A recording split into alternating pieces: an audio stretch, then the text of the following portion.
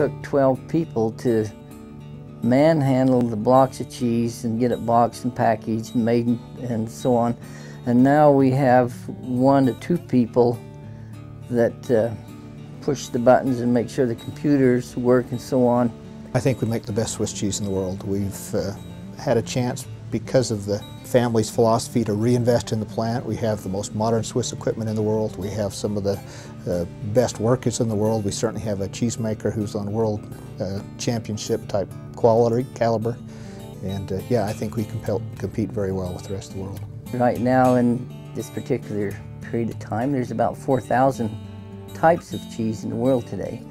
Uh, we still feel that Swiss cheese is the uh, king of the cheeses.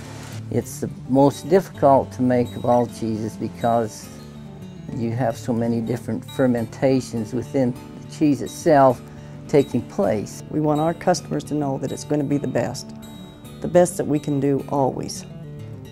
When there has been a question as to quality going into that package, uh, it always, uh, inferior product has always been rejected.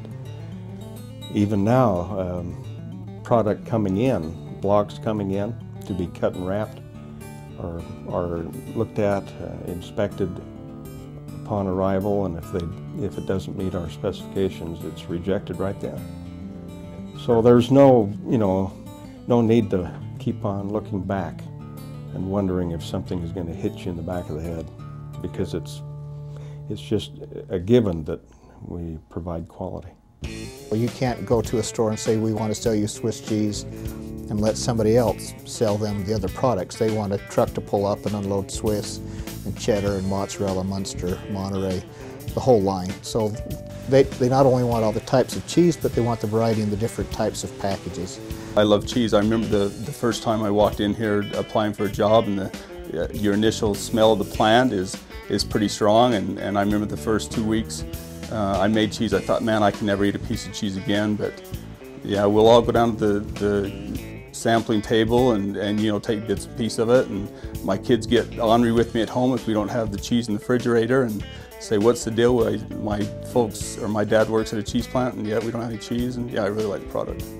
You know, you hear so many people say, oh, I've got to go to work. But I wake up in the morning and say, I get to go to work.